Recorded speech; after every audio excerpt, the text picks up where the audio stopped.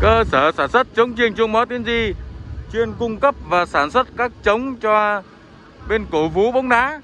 Hôm nay cơ sở Tiến Di ngày 16 tháng 7